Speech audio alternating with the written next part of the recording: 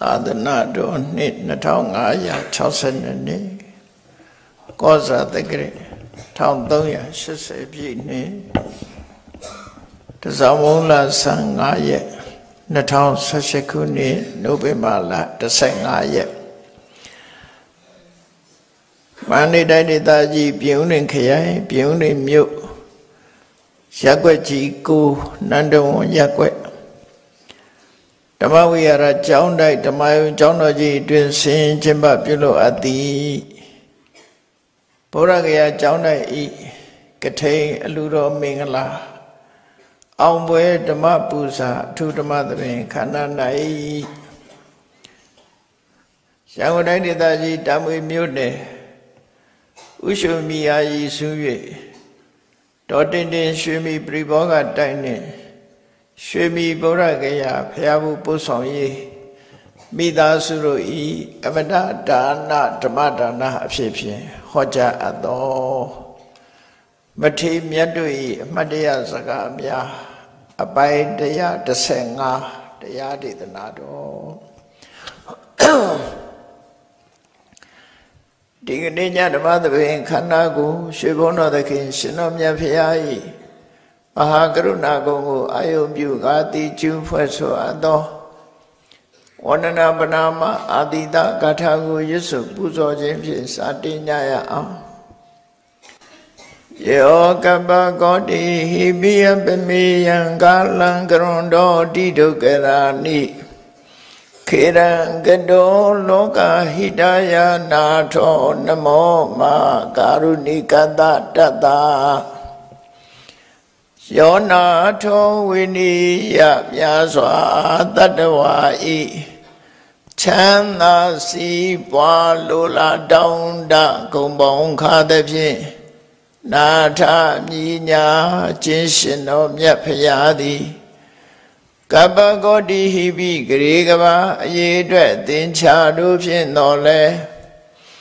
အဘေမေယံရေအတွက်တိုင်းတာဖော်ပြခြင်းငါမစွမ်းနိုင်ပါသော ကာလလေးအသင်ချေသိနေကဘာရှိကြသော ကာလပတ်လုံးလောကဟိတယတတလောကဤအကျိုးစီးပွားအလို့ငါအတိဒုက္ခရာနိဥ္စာအသက်ချင်လဲအင်္ဂါမေတ္တာကြီးမာသမိတာနှင့်တထာဇနီဆွန်ញင်းကြီးဟုကျက်တိထဝယ်ငါးသွဲအစုအလုံးခဲရင်တော်မူတို့ကို ကရွန်တော်ဖျားဖြစ်ရန်ဤတန်ကြိုးကုတ်အာထုတ်တော်မူရသည်ဖြစ်၍ခေရန်လက်ချေမျက်လုံးအသက်ဆုံးလည်းရဲ့နှလုံးစိတ်ဝံကိုရောဤပင်မခြင်းတို့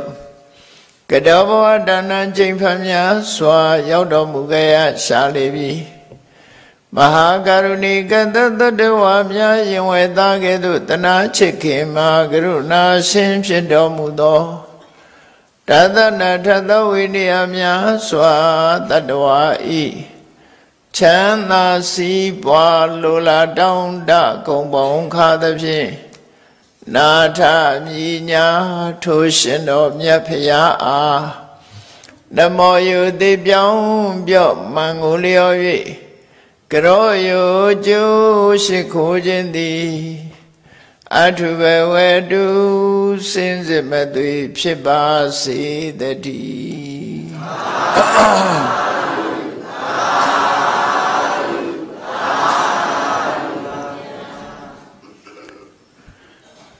မထေမြတ်တို့၏အမတ်တရားစကားများ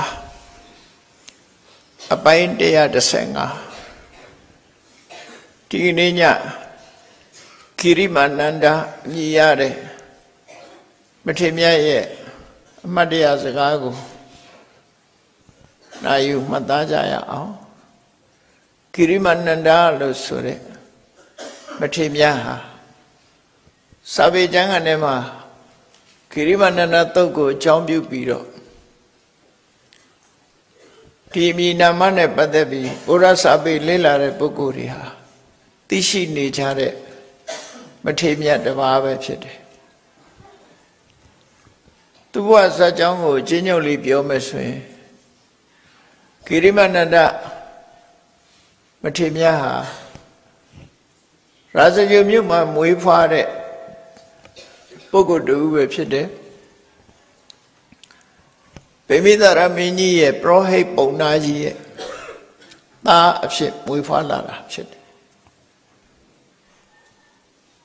ကိရိမနန္ဒာလို့လူဘွားကအမည်ပေးထားတယ်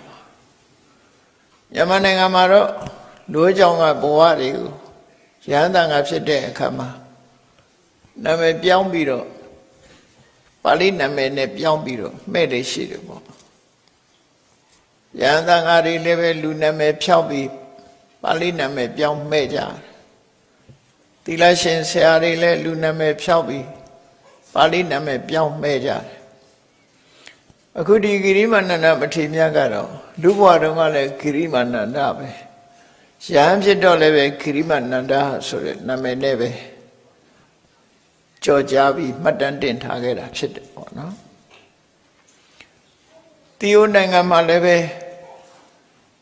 ရဟန်းဖြစ်လာရင်ရဟန်းဘွဲ့ပေးတဲ့အလေးထားရှိပုံရတယ်လူအကြောင်းတော့ဘဝကိုနာမည်ကိုဆက်ပြီးတော့မခေါ်ဘဲနဲ့ယဟန်ဖြစ်တဲ့အခါမှာယဟန်ဘွဲ့ပေးတယ် သို့တော့ဘာထူးခြားတော့ဆိုအဲယဟန်ဘွဲ့တွေရဲ့ရှေ့မှာစာတိရွာစာတိဒေသရဲ့အမိနာမထည့်ပြီးတော့ခေါ်30လေးရှိတယ်ပေါ့နော်အဲ့ဒါတီဟိုနိုင်ငံရဲ့တမှုထူးခြားချက်ပေါ့မြန်မာပြည်မှာလည်းပဲတချို့မိမိဇာတိဒေသကိုထည့်ပြီးတော့ရှင်းသားတဲ့ အမိနာမတွေလည်းရှိတယ်ဥပမာထင်ရှားကြော်ကြတဲ့ညောင်ကန်အရှင်အိန္ဒကတို့ဆိုတာမျိုးညောင်ကန်ရွာသားမှုညောင်ကန်အရှင်အိန္ဒကခေါ်တာဖြစ်ဒီလိုပုံစံမျိုးပေါ့နော်တီယိုနိုင်ငံမှာလည်းပဲရမ်းဖြစ်လာပြီဆိုလို့ရှိရင်ဒီရမ်းမြီပွဲ့မြီကိုနောက်ကရှေ့ကနေပြီးတော့ရဟန်းမြေကိုနောက်ကထားပြီးရှေ့မှာသူတို့မွေးဖွားတဲ့ စာတိဒေသရဲ့နာမည်ကိုထည့်ပြီးတော့ခေါ်တာစာပေရေးသားမှာထက်မြက်ပြီးကျမ်းပေါင်းများစွာပြုတဲ့တီဟိုကနာမည်ကျော်ဆရာတော်ကြီးတစ်ပါးရဲ့ဘွဲ့ရရာဟုလာလို့ခေါ်တယ်သို့သောသူ့ရဲ့ဘွဲ့ရှိမှာအမည်နာမရဲ့ရှေ့မှာဝါပောလရဟုလာလို့ ရွာနာမည်ထည့်ပြီးဝါပောလဆိုတဲ့သူ့ရွာစာတိရွာကိုထည့်ပြီးတော့ဝါပောလရဟုလာလို့ဒီလိုရေးတယ်ဒေါက်တာဝါပောလရဟုလာဆိုဟောတဗုဒ္ဓတော့ဆိုတဲ့ကျမ်းစာနဲ့နာမည်ကြီးတဲ့ဆရာတော်ကြီးပေါ့ဒီပြင်ကျမ်းနေလည်းသူရေးခဲ့တယ်ဒါပေမဲ့ဒီကျမ်းကတော့ဘာသာအမျိုးပေါင်း18ဘာသာထိအောင်ပြန်ဆိုပြီးမြတ်စွာဘုရားရဲ့အဆုံးအမတရားတော်တွေကဘာအနှံ့ ပြန့်ပွားခဲ့တဲ့ကျမ်းစာတစ်ခုဖြစ်လို့မြန်မာပြည်မှာတော့ဆေယမောင်ဥက္ကိုလေးကမြတ်ဗုဒ္ဓဒေသနာဆိုတာနဲ့အမှလို့ပြန်ထားတဲ့စာအုပ်ရှိတယ်နော်အင်္ဂလိပ်လိုရေးတာ What the Buddha Taught ဆိုတဲ့စာအုပ်ဗုဒ္ဓရဲ့အကြောင်းကိုတခြားစာအုပ်တွေနဲ့မတူအောင်သူရေးသားသွားတယ်အဲ့တော့ အဲ့ဒီဆရာတော်ကြီးရဲ့ပွဲမှာလေရွာနာမည်ထည့်ထားတယ်ဒါကြောင့်မို့ဒေသအလိုက်ထူးခြားတဲ့အမည်နာမတွေရှိတော်တယ်ကိရိမနန္ဒဆိုတဲ့အမည်နာမကတော့သူဖေယပရောဟိတ်ပုံနာကြီးဖြစ်တယ်ပိမိသာရမင်းရဲ့ဆရာဖြစ်တင်မြောက်ချင်းခါရတဲ့ပရောဟိတ်ပုံနာကြီးအဲပုံနာကြီးရဲ့သားကိရိမနန္ဒဟာ အရွယ်ရောက်လာတဲ့အခါမှာသူတို့ပြမနာမျိုးရိုးတွေက48နှစ်ကြာအောင်အိမ်အောင်မပြုတ်ပဲနဲ့ဝေရာချမ်းတွေကိုလေးလာတင်ယူချရတယ်ဒါသူတို့ရဲ့မျိုးရိုးစအလိုက်လိုက်နာကျင့်သုံးရတာပေါ့ဝေရာချမ်းတွေကိုတတ်အောင်တင်ယူပြီးတော့ ဘုရင်မင်းနေထံအမှုထမ်းကြတယ်ပရောဟိတ်ပုံနာဖြစ်အမှုထမ်းတာတို့ဝေရဆရာကြီးတွေတိတာမမောခဆရာကြီးတွေဖြစ်မှုထမ်းကြမြတ်စွာဘုရားပွင့်လာတဲ့အခါမှာမြတ်စွာဘုရားဟာရှင်တထောင်ချွတ်ပြီးရာဇဂုံမြို့ကိုပထမဆုံးကြွလာတဲ့အချိန် ရှင်တထောင်ချွတ်ပြီးကြွလာတယ်ဆိုတာဝါဆိုဥကာလမှာတပည့်စကြာတရားဟောပြီးဗာရဏသီဣတိပတနတောမှာသရင်300ကနေပြီးဥရဝေလာတောဘက်ကိုပြန်လီကြွချီလာတဲ့အခါမှာဥရဝေလာကသဗအမှုရှိတဲ့ရှသိညီနောင်ရှင်တထောင်ကို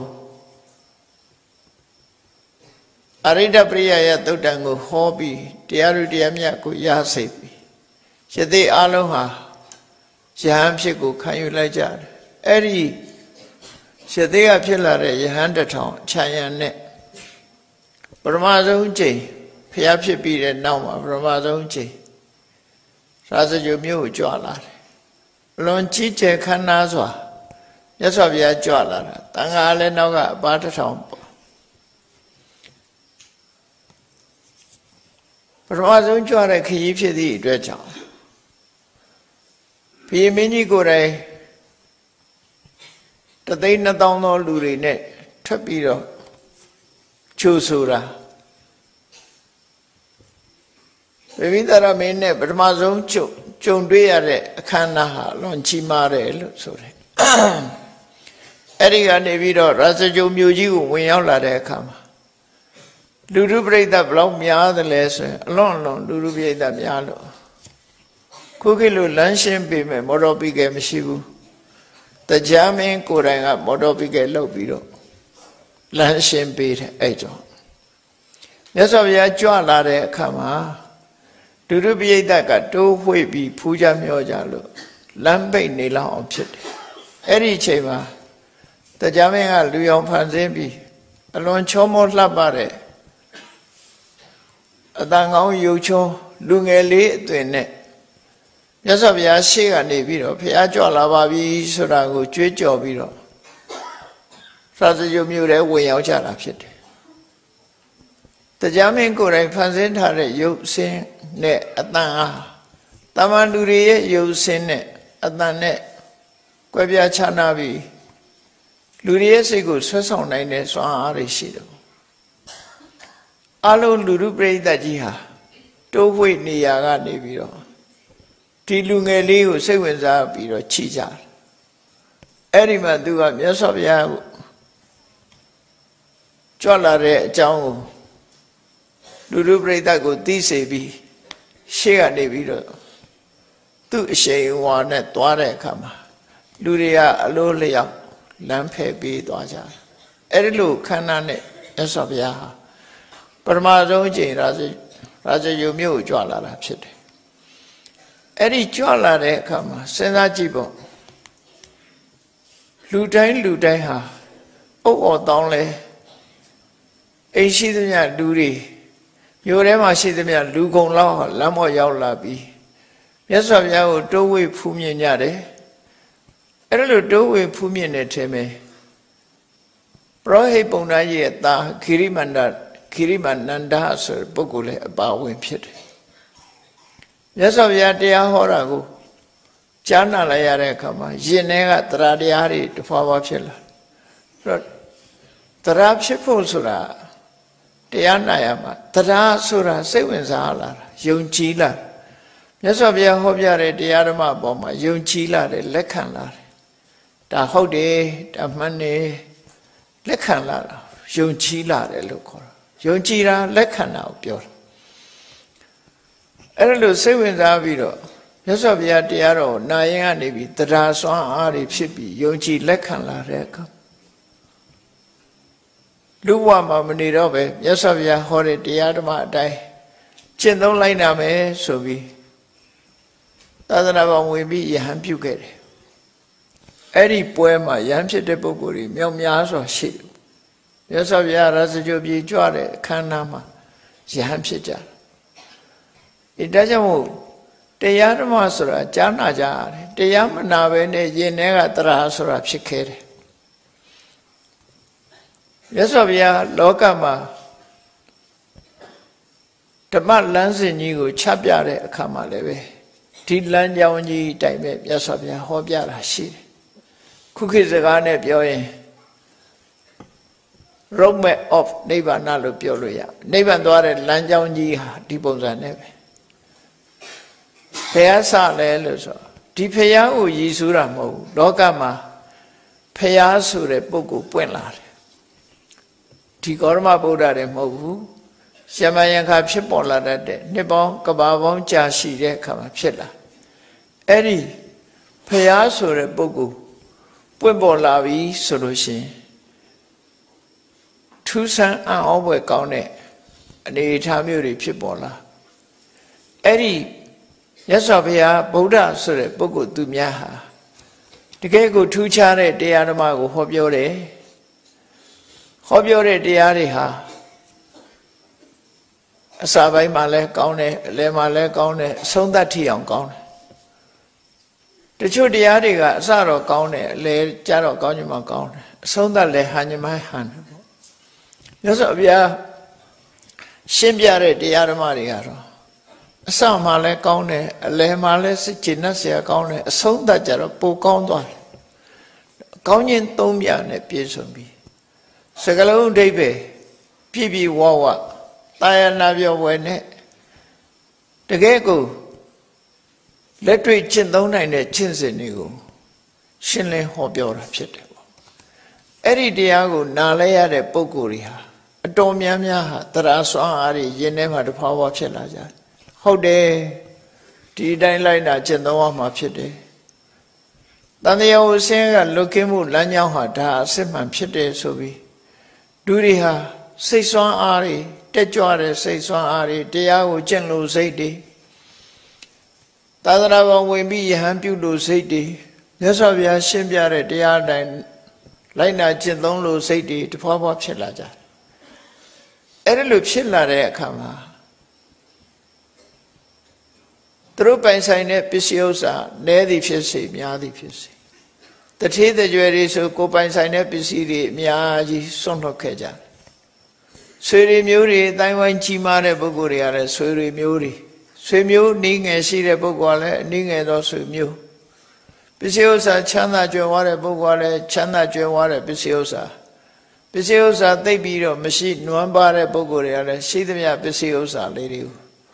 စွန့်ပြီးတော့ သာသနာပေါင်းကိုယင်ပေးပြီးတော့ဝင်ကြတာဒါကို renounce လုပ်တယ်လို့ခေါ်တယ်အခွင့်အရေးအလုံးကိုစွန့်လွတ်ခဲ့ကြတာအခုခေတ်နဲ့မတူဘူးခုခေတ်ကရဟန်းခံရတယ်ဆိုခိတ္တခဏနော်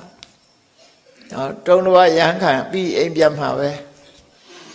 အဲ့ဒီတုန်းကတော့အဲ့လိုမဟုတ်ဘူးအပြည့်သက်မိသားစုဘဝကိုဆွန့်လွတ်လိုက်တယ်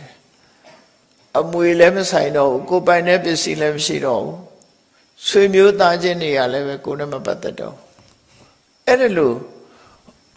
တောထွက်တယ်ဆိုတာအဲ့ဒီအဓိပ္ပာယ်ရှိတယ်အဂါရတမအနအခါရိယဆိုမိသားစုဘဝကိုဆွန့်လွတ်ပြီးတော့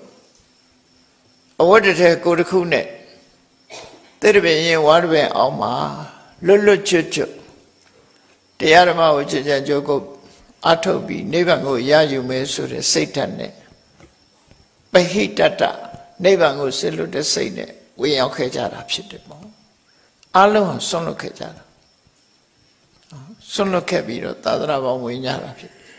အခုဂိရိမနန္ဒဆိုတဲ့အမျိုးကောင်းသားဟာလည်းပဲရှင်ထဲကဖြစ်ပွားလာတဲ့သရဆွမ်းအားနဲ့သူဟာ ရရှိလာနိုင်တဲ့ပရောဟိတ်ယာဓု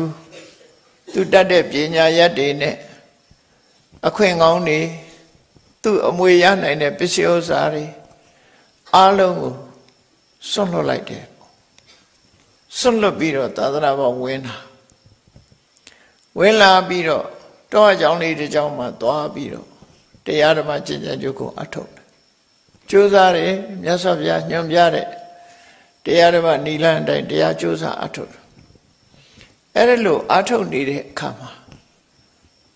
သူကယောဂဝေဒနာဖြစ်တယ်ရာဇဂိုကနေတာဝတိဘက်ကိုသွားပြီးသူတရားထုတ်နေတဲ့အချိန်လို့ဆိုအောင်အဲ့ဒီလို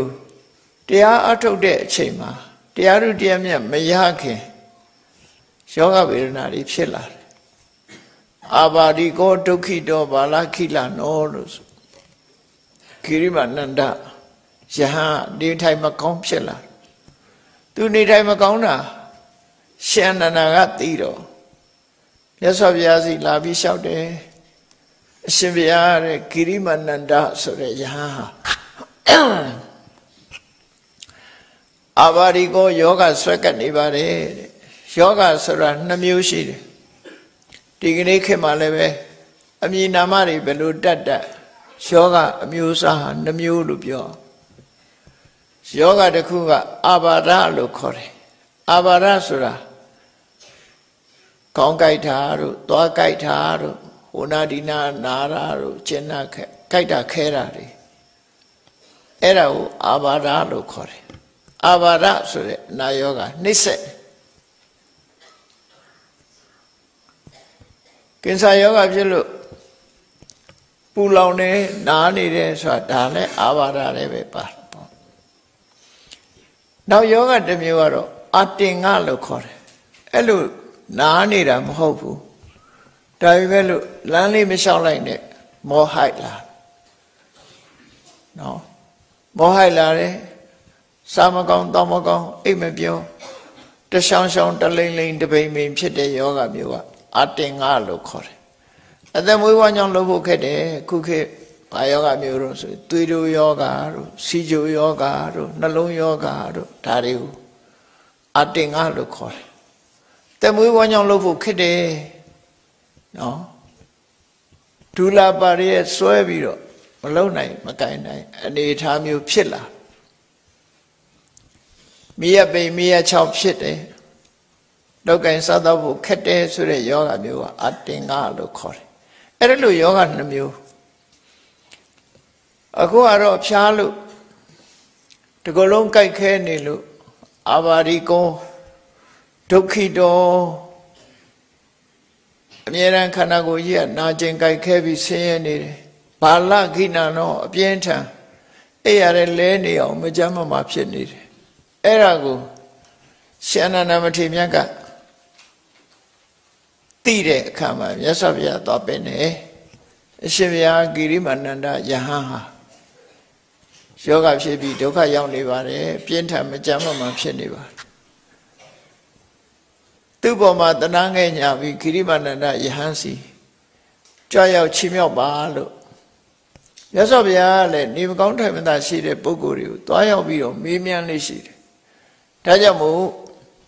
ခရိမနန္ဒယဟန်နေမကောင်းဘူးဆိုတာလားသတင်းပေးတော့ဒီချိန်မှာတော့မြတ်စွာဘုရားကအနန္ဒာကိုပါမိတ်လိုက်တုံးဆိုရင်ကိုယ်တိုင်ကြွမသွားပဲနဲ့အာနန္ဒာတဲ့ခိရိမနန္ဒယဟန်ကိုတင်ညာ10ပါးတရားကိုဟောပြလိုက်တင်ညာ10ပါး တရားဓမ္မနဲ့ပတ်သက်ပြီးတော့အမှတ်တင်ညာတင်ညာလို့ဆိုပေမဲ့လို့ပညာကိုဆိုလို့တော့ပေါ့နော်တင်ညာဆိုတာတကယ်ဟိုတင်ညာကတော့အာကိုလိုက်တဲ့အာကိုလိုက်တဲ့ဟာတော့မဟုတ်ဘူးသို့တော့ပညာတင်ညာကနေခေါင်းတက်ထားတဲ့ပညာအဲ့ဒီဝိပဿနာတရားအထုတ်တဲ့တနည်းအားဖြင့်ပြောမယ်ဆိုရင် ဝိပဿနာတရားအထုတ်တဲ့နီးဥတီပြီးတော့တင်ညာ7ပါးတရားကိုခိရိမန္တနာယဟန်ကိုဟောလိုက်တဲ့အဲ့ဒါဟောလိုက်လို့ဒီတရားရှင်းပြလိုက်ပေါ့လေတင်ညာ7ပါးကိုရှင်းပြလိုက်ရှင်းပြလိုက်လို့ဒီတရား10မျိုးကို तू နားထောင်ရတဲ့အခါမှာ तू ဟာကျမ်းမာသွားလိမ့်မယ်လို့သူတို့ပြောတယ် ကာယိကဒုက္ခစေရတိကဒုက္ခကာယိကရောဂါစေရတိကရောဂါကိုယ်မှာဖြစ်တဲ့ယောဂဝေဒနာတစ်မျိုးစိတ်မှာဖြစ်တဲ့ယောဂဝေဒနာတစ်မျိုးအဲ့ဒီနေရာမှာဒီနေမကောင်းထိုင်မသာဖြစ်နေတဲ့အခါမှာတခြားဆေးဝါးတွေကုနေတာတဲ့သူကဒီတင်ညာဆဘာတရားကိုခေါ်လိုက်မယ်ဆိုရင် तू ကပိုစိတ်ဝင်စားတယ်ပိုစိတ်ဝင်စားမဲ့ तू ကတရားအထုတ်နေတဲ့ပုဂ္ဂိုလ်ဆိုဒါစိတ်ဝင်စားပြီး तू ယောဂပျောက်သွားလိမ့်မယ်နော်လို့လို့ပျောက်တာလဲဆိုပါစို့နေမကောင်းတဲ့ဝိသရှိတဲ့အခါမှာဘုရားလက်ထက်ကလည်းရှင်မကသဝမကြမ်းမမဖြစ်တယ်ရှင်မောဂလမကြမ်းမမဖြစ်တယ်မြတ်စွာဘုရားကြွပြီးတော့ဘုဇင်ခုနှစ်ပါးဟောလိုက်တယ်အဲ့ဒီဘုဇင်ခုနှစ်ပါးနားလိုက်ထန်တဲ့ယောဂပျောက်သွား အခုလည်းပဲမြတ်စွာဘုရားကခိရိမာနန္ဒယဟန်ကိုဘုဇင်တရားနာခိုင်းတာမဟုတ်ဘူးတင်ညာ7ပါးတရားကိုနာခိုင်းတာအဲ့ဒါဟောလိုက်ရင်ပျောက်သွားလိမ့်မယ်နော်စိတ်ဆွမ်းအဘက်ကနေလက်ကူပေးတဲ့သဘောပေါ့ခုခေတ်လို့ပြောမယ်ဆို psychotherapy ပေါ့နော် psychiatric တွေအသုံးပြုတဲ့ psychotherapy ဒါပဲခင်မိလာပြီဆိုပြီးလုံနေကြတာမြတ်စွာဘုရားလုံလာတာကြာလာနော် သူဟာ psychotherapy လုံးဝပျောက်မဲ့ယောဂမျိုးဖြစ်လို့ရှင်အနန္ဒာကိုပြင်ပြီးတော့ဟောခိုင်းတယ်ဒါဖြင့်ဘလို့ပျောက်တာလဲဆိုဒီတရားတွေဟောရင်သူနှလုံးသွင်းရင်နှလုံးသွင်းရင်နဲ့ဒီတရားတွေပေါ်မှာအာယုစိုက်လာအာယုစိုက်နေတယ်ဆိုကြတဲ့တတိနဲ့တမာတိနဲ့ပညာနဲ့ဖြစ်လာတယ်တတိတရားနဲ့အာယုစိုက်တယ်တမာတိနဲ့စုစည်းပေးတယ် ပညာနဲ့ဆင်ញင်သုံးသပ်တဲ့အခါမှာဒီတရားတွေဟာသူ့ရဲ့ယင်နဲ့နှလုံးလုံးထဲမှာလင်းငနဲ့ရှင်းငနဲ့မြင်လိုက်တဲ့အခါမှာဘာတွေဖြစ်လာတော့ဆိုပီတိတွေဖြစ်လာအဲ့ဒီပီတိစွမ်းအားတတိစွမ်းအားတမာရီစွမ်းအားပညာစွမ်းအားတွေကြောင့်မလို့ဖြစ်ပေါ်လာတဲ့ယုတ်တရားတွေစိတ်ကြောင့်ဖြစ်တဲ့ယုတ်တရားတွေကစိတ်ဆိုတာထုတ်ယုတ်ကိုထုတ်လုပ်တဲ့အမြဲတမ်းဖြစ်လိုက်တဲ့စိတ်အများစုဟာ အဘိဓမ္မာသင်တဲ့ပုဂ္ဂိုလ်တွေသင်မှုလိမ့်မယ်စိတ်89ရှိတဲ့ထင်မယ်85ပါးသောစိတ်တွေဟာယုတ်ကိုထုတ်တယ်စိတ်ဖြစ်လိုက်တာနဲ့တပြိုင်နက်ရုပ်အသစ်တွေကိုထုတ်ပေးတယ်ဖြစ်ပေါ်စေတယ်ပေါ့ထုတ်တယ်ဆိုတာအဲ့ဒါလို့ရုပ်နဲ့ရုပ်တရားတွေအသစ်တွေဖြစ်ပေါ်လာခြင်းဟာ unhealthy cell လို့ခေါ်တယ်မကျန်းမာတဲ့ ဒုက္ခနာကိုမှရှိနေတဲ့မကျန်းမာတဲ့ cell လေးတွေဟာအချိန်တန်တော့ပျောက်သွားတာဟုတ်သူကနောက်ထပ်ဖြစ်ပေါ်လာတဲ့ခြေနဲ့အာရပီတိဖြစ်နေတဲ့တတိသမารိပညာစွမ်းအားတွေနဲ့ထုံမှန်းထားတဲ့ဒီစိတ်ကြတော့ healthy cell ဆိုတာတွေကိုဖြစ်ပေါ်စေတယ်နော်ရုပ်သစ်တွေကိုဖြစ်စေတယ်အဲ့ဒီရုပ်သစ်တွေကကြမ်းမာပြီးတော့လန်းဆန်းတဲ့ရုပ်သစ်တွေဖြစ်တယ် ယောဂရနေတဲ့ရုပ်တွေဟာသူကသူချုပ်သွားပြီးနောက်ထပ်ဖြစ်လာတဲ့ရုပ်တွေကကြမ်းမာတဲ့ရုပ်တွေဖြစ်လာတယ်အဲ့ဒီနည်းနဲ့ယောဂပျောက်သွားတာလို့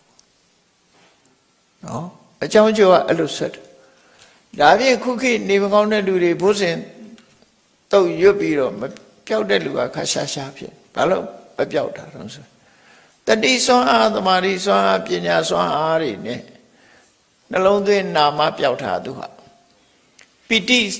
ပိဋိတမိုးစင်ကိုဆိုတာကို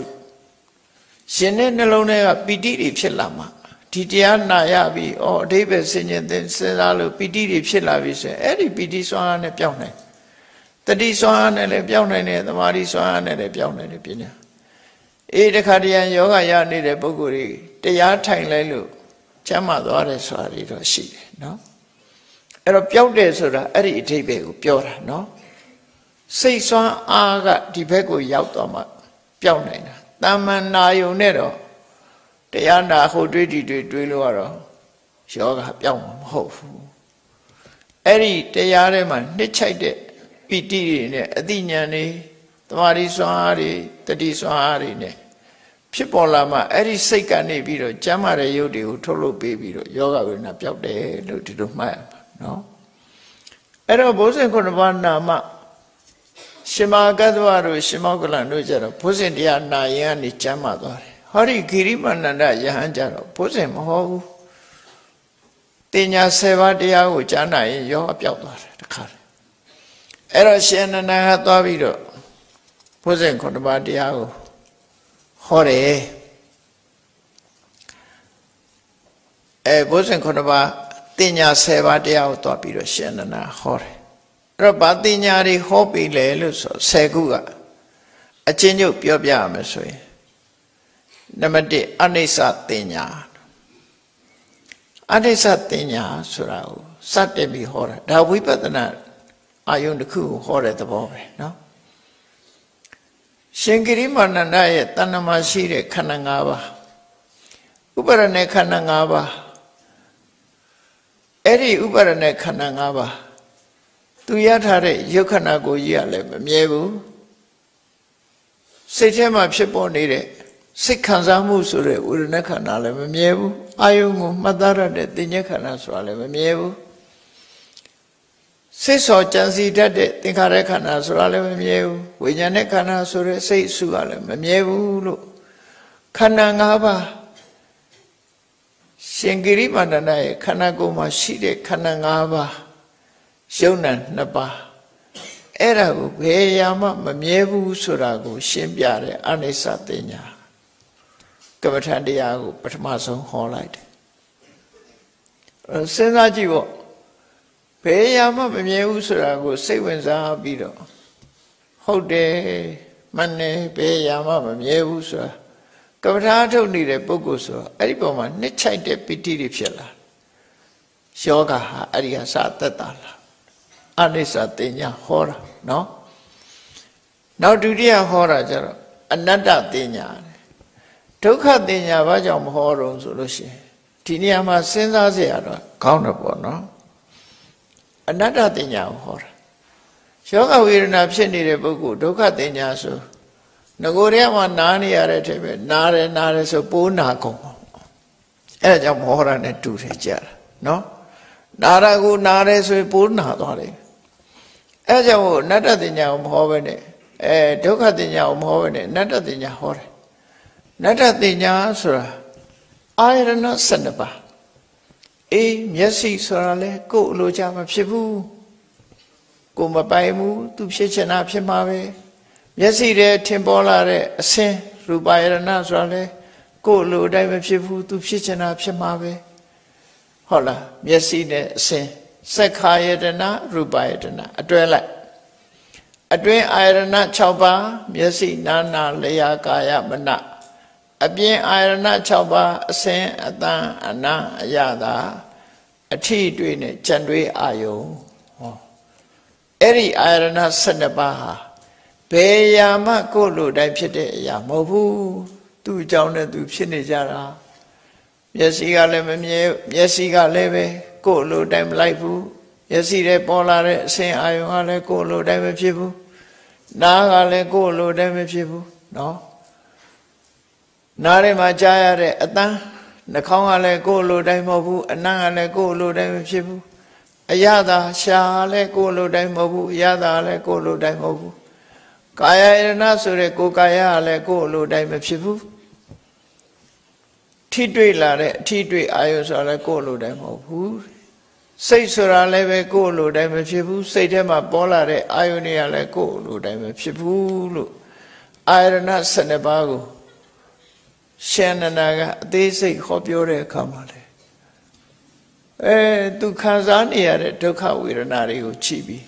ဟုတ်တယ်ကိုယ်လိုတိုင်းမဖြစ်တာမှန်တယ်နော်သူဖြစ်ချင်လို့ဖြစ်နေကိုကပျောက်ချင်လို့ရတာမှမဟုတ်တာ အဲ့ဒီမှာလည်းပဲ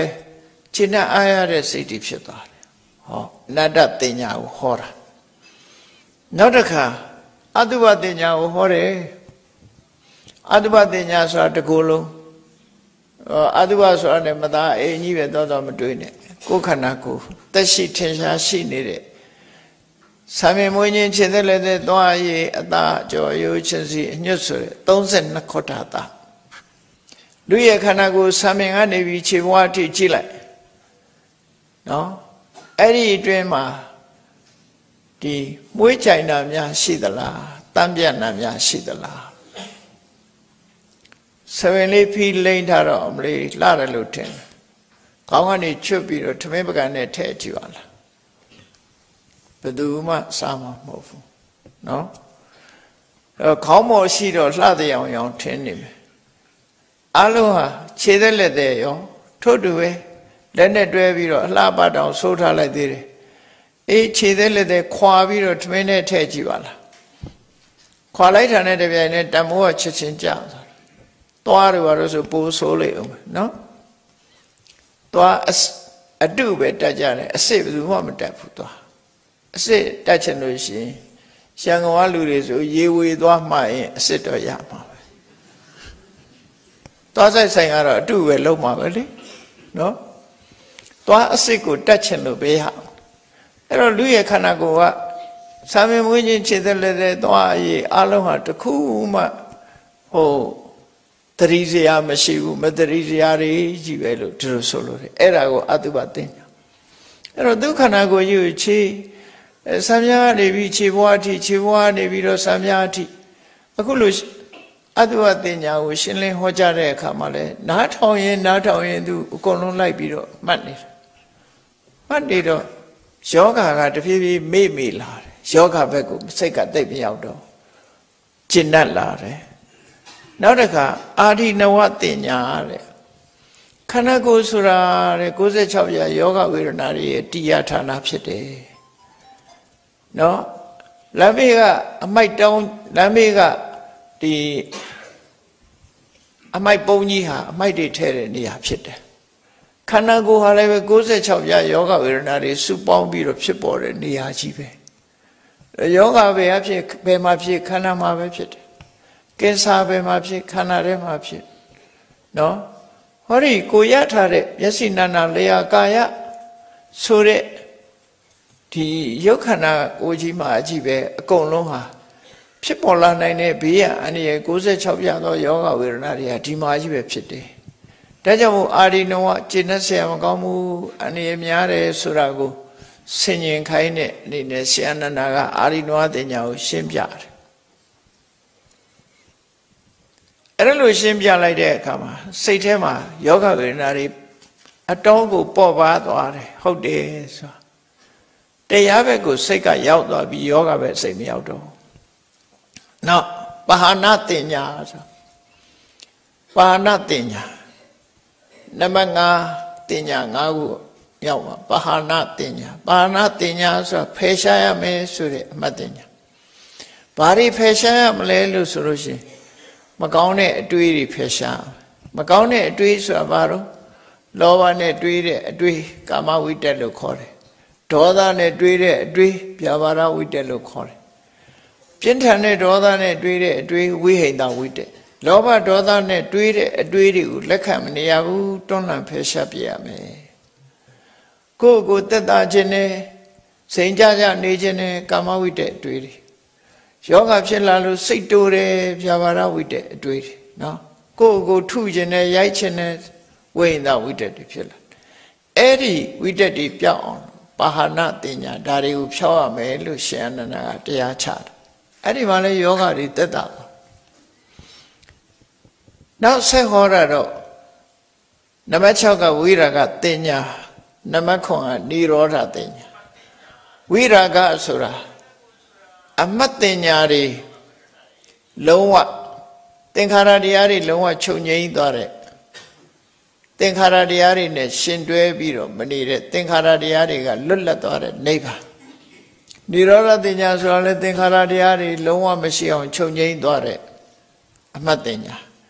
နိဗ္ဗာန်ကိုအာရုံပြုလိုက်လို့ရှိရင်နိဗ္ဗာန်မှာဒီလိုဒုက္ခတွေမရှိဘူးဆိုတာကိုသိကြအောင်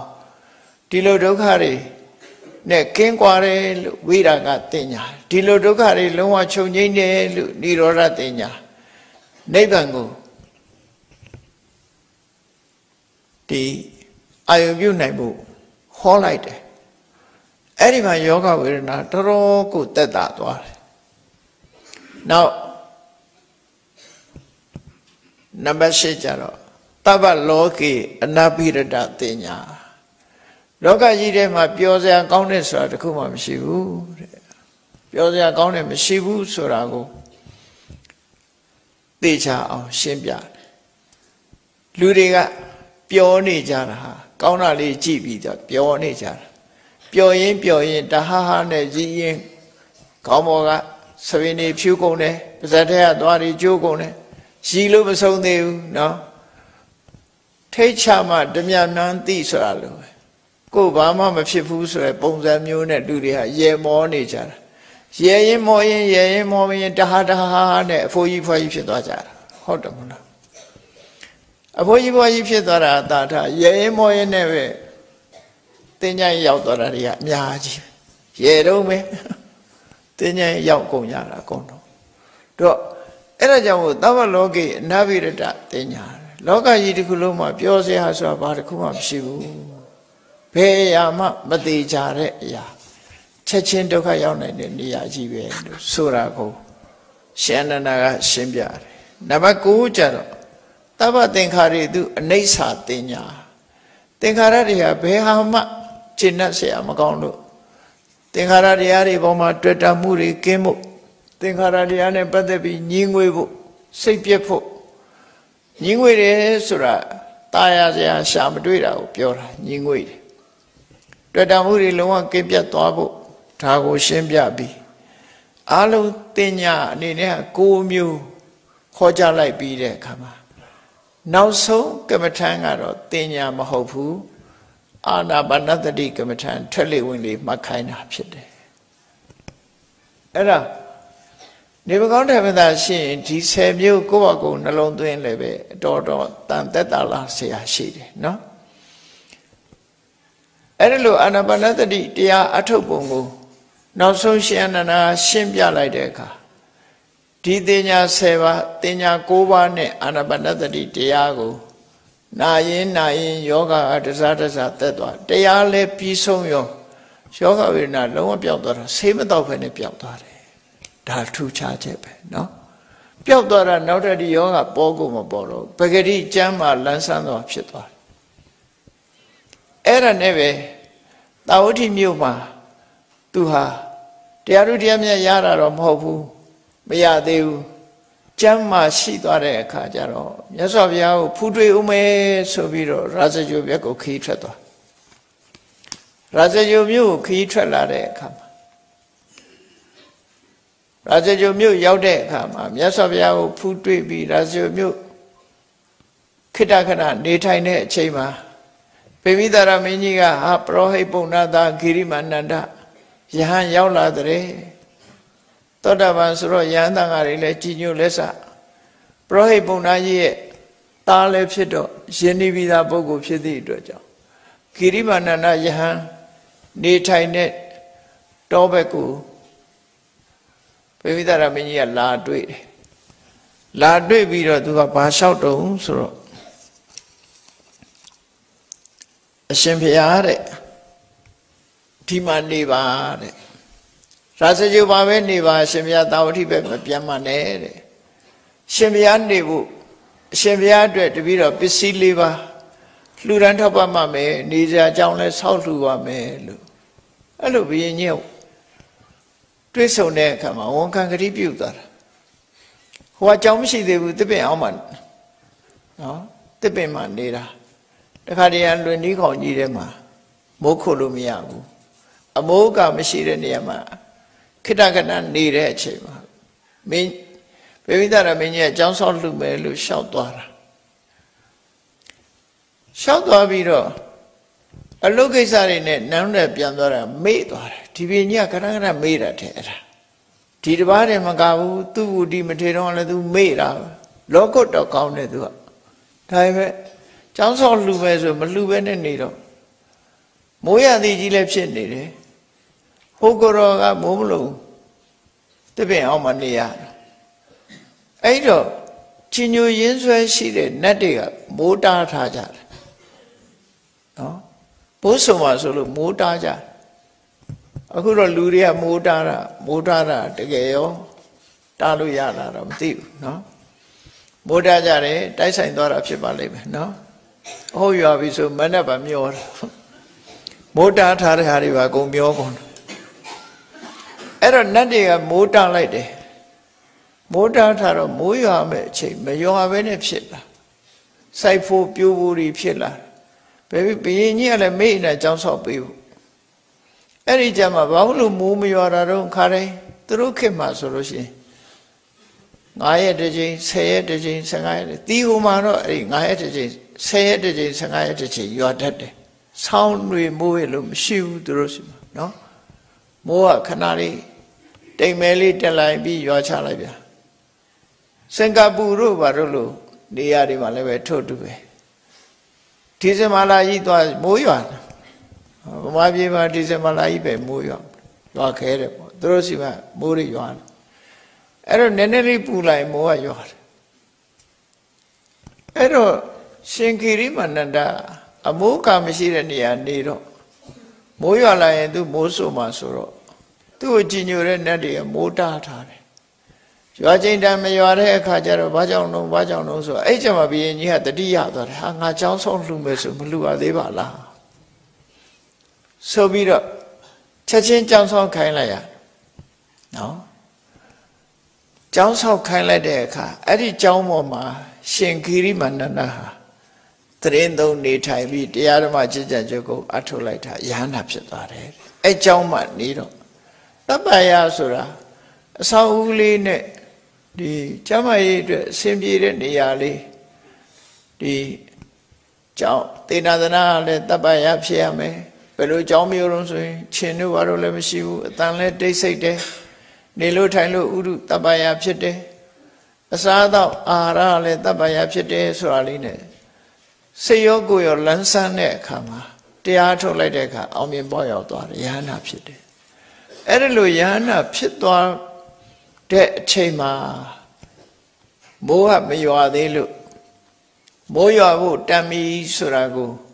ရှင်ဂိရိမန္တနာကအမတ်တရစကားတွေကိုပြောခဲ့တာဖြစ်တယ်ပေါ့မိုးကိုရွာခိုင်းတဲ့ဟာပဲသူ့ရဲ့အမတ်တရစကားဖြစ်တယ်အဲ့တော့ယဟနာဖြစ်သွားတဲ့အခါသူကဘာပြောတော့ဆိုဝတ္တတိဒေဝယထာဒုခိတံသန္နာမေကုတိကာဒုက္ခနိဝါဒ တတံဝိဟရာမိဥပတံတောအထစေပတ္ထယတိဝတ္တဒေဝမိုးကိုလှမ်းပြီးတော့စကားပြောတဲ့သဘောမိုးဆိုတာမိုးနဲ့သားပေါ့နော်မိုးနဲ့သားဆိုတာဝလာကမိုးနဲ့သားဆိုတာကအခုခုခေတ်ကတော့ဒါမိုးရတယ်ဆိုတာရာသီဥတုရအပူငွေတွေတက်ပြီးအပေါ်ကြအေးနဲ့တွေ့လို့ရွာချတဲ့ဒါသဘာဝမိုးနော်နတ်တွေကလှုပ်တဲ့ ရွာချတဲ့မိုးကရှိသေးတယ်အဲ့ဒါကြတော့ဝလာကနတ်သားကသူကဘာလို့ရတော့ဆိုလို့ရှိရင်မိုးသချင်းကိုဆိုပြီးတော့သူ့ရဲ့မိုးဝိယုံကြီးကိုဝတ်ပြီးမိုးသချင်းဆိုလိုက်လို့ရှိရင်မိုးရွာတယ်တဲ့အဲ့ဒါတခုနော်ဘလောက်ထီအောင်သူတို့ကချက်ချင်းရွာနိုင်တော့ဆိုဒါမဖြစ်ဘူးလို့မပြောနဲ့နော်မိုးထုတောင်လုပ်လို့ရသေးတယ်လူတွေမိုးထုရွာတယ်ဆိုတာရှိတယ် အဲ့တော့နတ်ကတော့ဝလာကဆိုတဲ့မိုးနတ်သားတွေကသူကမိုးသချင်းဆိုပြီးချက်ချင်းသူတို့စိတ်ဆက်နာနဲ့မိုးရောင်လုပ်လို့ရတယ်တခါတော့ကရဟန်းတော်တစ်ပါးတောအကြောင်းမှနေတယ်အဲ့ဒီဝလာကနတ်သားတယောက်ကရဟန်းကိုလာဖူးတယ်ဖူးတော့သူဝလာကနတ်သားဆိုရင်ဒါဖြင့်ဝလာကနတ်သားဆိုမိုးရောင်လုံးနိုင်လားလို့ဟောမေးတာအရှင်ဘုရားလုံးနိုင်တာပေါ့တဲ့ ကြည့်ကျင်တယ်အရှင်ဘုရားဆိုလိုက်မယ်တဲ့စကားနှကားပြောရင်နဲ့အဲ့တော့ယဟန်ပြောတော့ကောင်းကင်မောကြည့်ပြီးဘာတိမ်မှလည်းမရှိဘဲနဲ့ဘယ်လိုလုပ်ဆိုမှာတော့ပေါ့အရှင်ဘုရားကြည်လေတဲ့အခုချက်ချင်းထပြီးတော့အရှင်ဘုရားကြောင်းထဲဝင်လိုက်တယ်ယဟန်ကထကားရှိသေးတယ်ဟိုကမိုးနတ်သားကတချင်းဆိုလိုက်တာကြောင်းထဲအဝင်လေးမှာတချမ်းဆိုသွားသေးတယ်အဲ့လောက်တော့မြန်တယ်လို့ဆိုတယ်နော် အရှင်ဘုရားဝင်ဝင်လို့ပြောပြောချင်းမိုးဝေါ်တဲ့ယူချအဲ့ဒါမိုးနဲ့သားအစွမ်းနဲ့ရွာတယ်မိုးတဲ့နော်မိုးဂီတလေးကိုတီးဆိုပြီးမိုးဂီတကတော့ခုခေတ်လိုကြံပိန်ကြံပိန်နေလာတော့မသိဘူးမိုးဂီတတချင်းကိုဆိုပြီးတော့ဒီမိုးရွာဖို့လှုပ်လိုက်ရင်ချက်ချင်းမိုးရွာတာလေသူတို့အဲ့ဒီလို ဒီရှင်ကိရိမန္တန္တာကလည်းမိုးမရွာတော့လူတွေကမိုးမျောနေကြတယ်ဒါကြောင့်မို့သူကပြောတယ်အဲ့ဝတ္တတိဒေဝယထာဒုခိတံဒီမိုးနတ်သားဟာတချင်းဆိုပြီးတော့နော်မိုးရွာစေလိုက်ပါတဲ့သန္နာမေကုတိကဒုက္ခနိဝါဒသူနေတဲ့ကြောင်းလေးဟာအမိုးကအောင်ရောက်နေပါပြီ သူဟာအခုချိန်မှာမိုးမစိုးနိုင်တဲ့မိုးလုံးလေးလုံးအဆောက်ဦးလေးထဲမှာရှိနေပါတယ်တတ္တံဝိဟရမိဥပတန္တာဥပတန္တော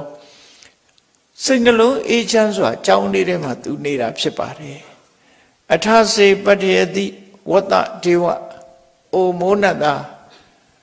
ရွာခြင်းတစ်ပတ်လူတွေကလည်းတောင်းတနေကြတာဖြစ်လို့မိုးရွာသွန်းပေးလိုက်ပါလို့ဗမာပြည်တဲ့ မိုးသချင်းရှိတယ်နဲ့တူတယ်နော်ကြာကြာနာဝေဖွဲ့နာအဲ့ဒါလို့ရွာလိုက်ပါလို့ပထမကထားပြောတယ်သူ့အခြေအနေကိုကြည့်ပြီးနောက်တစ်ခါဒုတိယအမှတ်တရစကားပြောတာလည်းပဲဒီအိဗယ်မျိုးပဲဝတ္တိတေဝယထာဒုခိတံသန္နာမေကုတိကာဒုက္ခနိဝတာတတံဝိရမိတန္တစိတ်တော်အထစိပတ္ထယတိဝတ္တဒေဝ မိုးဂိတတချင်းကိုအိုမိုးနမင်းမိုးဂိတတချင်းတွေကိုဆိုပြီးတော့မိုးရွာအောင်လုပ်လိုက်ပါတဲ့သူနေတဲ့အကြောင်းလေးဟာအမိုးလုံးလေလုံးမိုးလုံးဖြစ်နေပါပြီသူချမ်းချမ်းသာသာနေနေရတာဖြစ်ပါတယ်အဲ့ဒီဆောက်ဦးလေးထဲမှာသူဟာစိတ်နှလုံးအေးချမ်းစွာနေထိုင်တာဖြစ်တယ်ခုနတော့ကဝုပတန္တာအပူပင်နေကင်းတယ် တန္တာစိတ်ဓာတ်စိတ်နှလုံးအေးချမ်းတယ်ဟောဒီစကားလေးပြောင်းပြီးတော့ပြောတာဒါကြောင့်မို့အလုံးတောင်းတနေလို့ဘိုးခုချက်ချင်းပဲရွာချလိုက်ပါလို့တခါတတိယအကြိမ်လည်းပဲဒီအဓိပ္ပာယ်နဲ့ပြောတယ်အဲ့ဒီလိုပြောတဲ့အခါမှာကြတော့ဝိတရာကောတတံဝိဟရာမိဝိတရာကောမိုးလုံးလေလုံးကြောင်းလေးထဲမှာတဲ့ငါဟာ တွေ့တာမှုကင်းကင်းရှင်းရှင်းနဲ့နေတာဖြစ်တယ်ငါမှတဏှာရာဂဆိုတော့မရှိဘူးတွေ့တာမှုကင်းကင်းရှင်းရှင်းနေတာဖြစ်တယ်ဒါကြောင့်လူတွေတောင်းတနေတဲ့အတိုင်းမိုးကိုရွာလိုက်ပါမိုးရွာအောင်လုပ်လိုက်ပါလို့နောက်စတုထမြောက်ခါထားကြတော့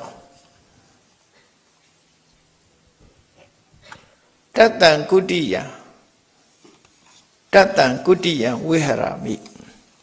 တတံဝိဟရာမိဝိတဒေါသောသူဟာဒေါသကင်ကင်ရှင်းရှင်းနဲ့အမုန်းတရားမရှိတဲ့နှလုံးသားနဲ့ဒီအဆောက်အဦထဲမှာအေးချမ်းချမ်းနေတာဖြစ်တယ်။ဒါကြောင့်မို့မိုးရွာလိုက်ပါ။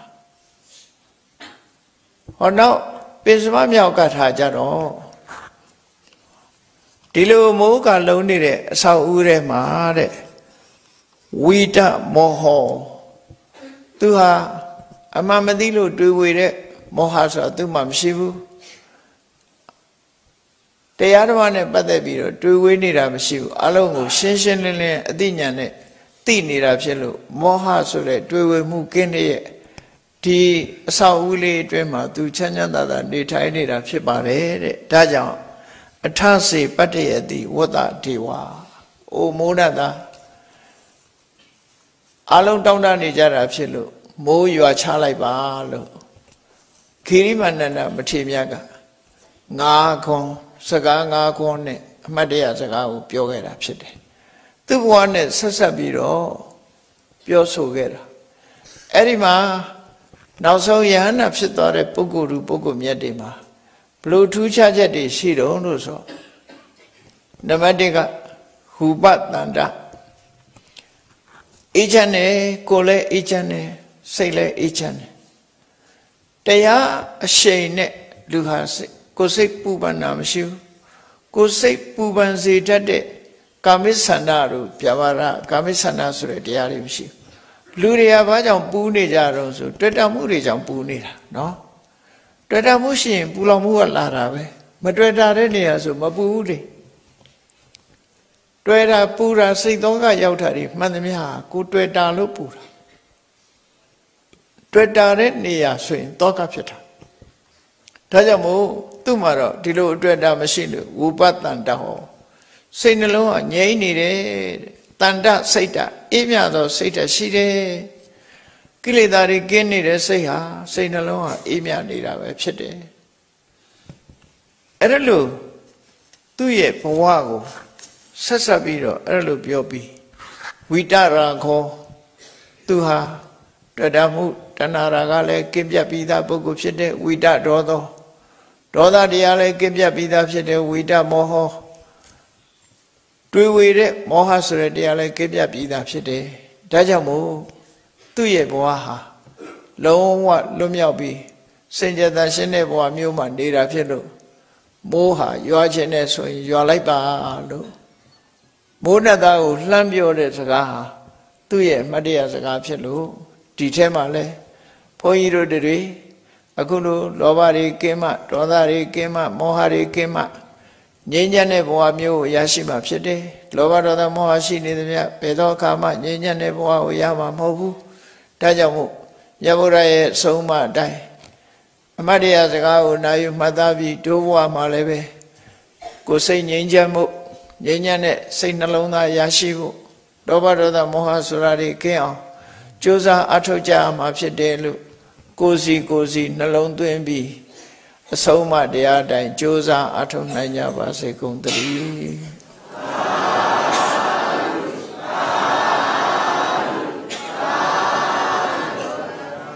မေတ္တာပို့ရအောင်တတဝါများစွာ